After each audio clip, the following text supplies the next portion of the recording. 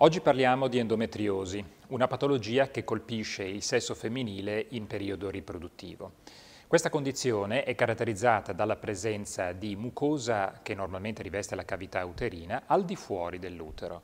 Prevalentemente si riscontra questa mucosa nella pelvi, sulle ovaie, eh, nello spazio retrouterino, ma talvolta anche a carico dell'intestino, degli ureteri, della vescica e in rari casi anche a carico della pleura e del polmone o altri organi. L'endometrio è la mucosa che sfalda mensilmente eh, e che, eh, in assenza di un concepimento, dà luogo alle mestruazioni e che in piccola parte fuoriesce attraverso le tube e raggiunge la pelvi. In circostanze favorevoli questi frammenti di mucosa, ancora vitali, riescono ad impiantarsi e a creare una reazione infiammatoria cronica che dà luogo ad aderenze, cicatrici, noduli, placche e sulle ovaie cisti che contengono un liquido piceo che viene definito liquido cioccolato. Questa condizione è generalmente associata, anche se non sistematicamente, a dolori pelvici sotto forma di dolore mestruale, dolore ai rapporti, dolore alla defecazione ed infertilità. La patologia colpisce una percentuale variabile dal 5 al 10% della popolazione generale, come abbiamo detto, in periodo fertile, poiché è molto raro trovare questa patologia prima del menarca e rarissimo trovarla dopo la menopausa.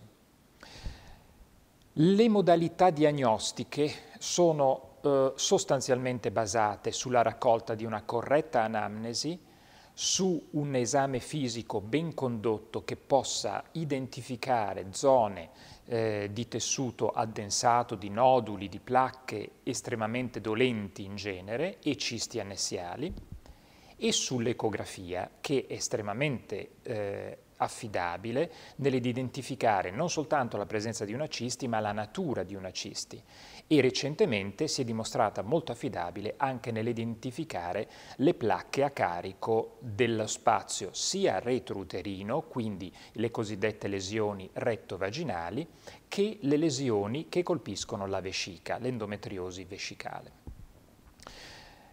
È stato suggerito l'uso della risonanza magnetica nucleare in alcune circostanze, tuttavia non vi sono dimostrazioni che questa metodica, certamente più costosa, fornisca una possibilità di diagnosi superiore ad una ecografia ben condotta.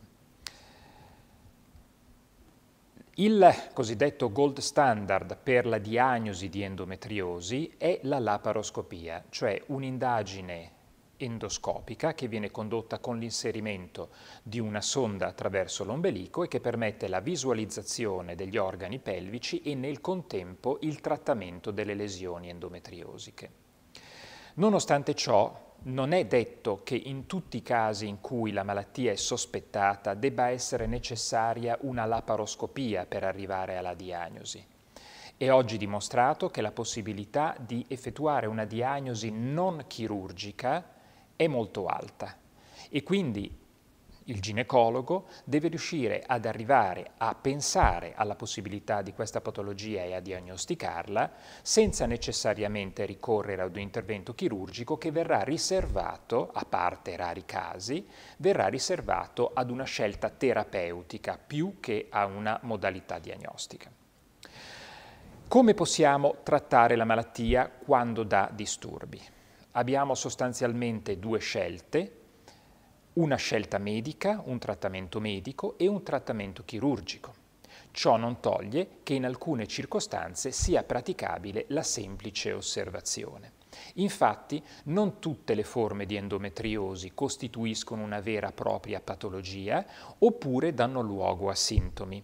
Vi sono diverse manifestazioni e andiamo dalle forme più lievi, probabilmente una forma eh, quasi parafisiologica. Teniamo conto infatti che negli ultimi decenni il numero di mestruazioni è sostanzialmente aumentato rispetto a solo 50-60 anni fa ed oggi le donne abitualmente mestruano 6, 7, 8 volte più delle nostre bisnonne o trisnonne E questo certamente è un fattore che eh, ha, un, ha, un, effetto, ha un impatto sulla probabilità di sviluppo della malattia, ma quando si tratta solo di forme molto lievi che non danno disturbi, non è detto che sia necessario alcun trattamento.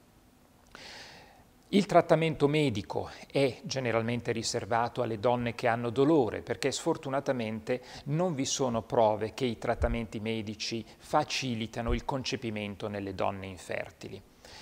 I trattamenti medici impiegano farmaci che inibiscono l'ovulazione e tendenzialmente riducono il livello di estrogeni che stimolano sia l'endometrio all'interno dell'utero che l'endometrio al di fuori dell'utero e quindi l'endometriosi. Oggi le scelte, le prime scelte, eh, le scelte più sicure, più economiche, più maneggevoli, eh, sono associate all'impiego di progestinici o destroprogestinici, la classica pillola contraccettiva, scegliendo preferibilmente i dosaggi più bassi. Questi farmaci possono essere continuati a lungo per molto tempo in sicurezza e danno un ottimo eh, risultato sulla sintomatologia dolorosa. Sostanzialmente almeno due terzi delle donne con endometriosi sintomatica trovano beneficio dall'impiego di questi farmaci. Vi sono poi altri farmaci, eh, tra i quali ad esempio i GNRH agonisti, che inducono una cosiddetta menopausa medica, una castrazione medica, che vanno però usati soltanto in circostanze molto specifiche e tendenzialmente non usati per lunghi periodi di tempo. Il trattamento chirurgico è riservato alle donne che hanno voluminose cisti ovariche, che hanno un coinvolgimento dell'apparato urinario e dell'apparato intestinale con stenosi e che, che capita stenosi dell'intestino e stenosi uriterale o che hanno ad esempio una lesione vescicale. In questi casi la laparoscopia è oggi in grado di affrontare con successo tutte queste situazioni senza più ricorrere ad interventi invasivi quali la laparotomia. Per quanto riguarda l'infertilità abbiamo la possibilità sia del trattamento chirurgico, che è associato certamente ad un eh, miglioramento delle probabilità riproduttive, anche se non nella totalità dei casi, sfortunatamente, oppure abbiamo la possibilità di ricorrere alle procedure di fertilizzazione assistita ed in particolare alla fertilizzazione in vitro.